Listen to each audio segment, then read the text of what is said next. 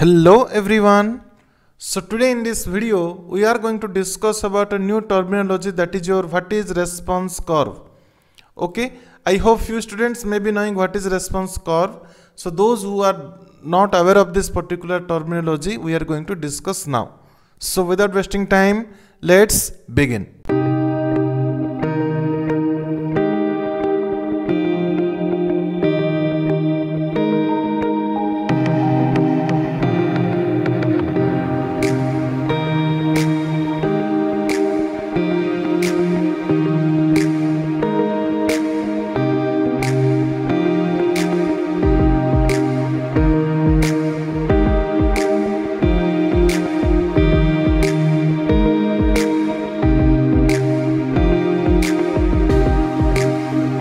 So you see what is this response curve?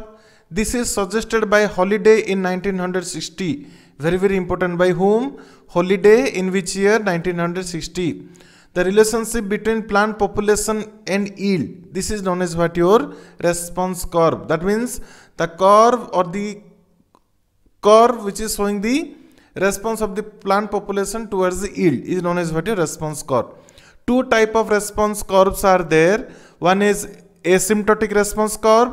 Another one is your what? Parabolic response curve. Okay? So you see what is asymptotic response curve? Okay? When entire dry matter is the economic product of age in case of your fodder crop or tobacco. You take the tobacco plant or you take the fodder crop. What will happen? The whole plant itself is a yield. Yes or no?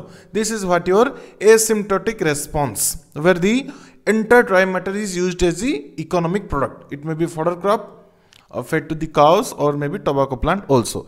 It means increase in plant density with increased yield. That means whenever the plant, more plant will come means more yield will come. That is what your asymptotic response, cereal crop for fodder.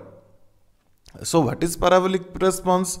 After reaching a level, increase in plant density with decrease yield okay that means you take cereals you take pulses you take uh, this rice or maize or any kind of other plants. Where what will happen? If more density will be there in a particular unit area after a time period what will happen?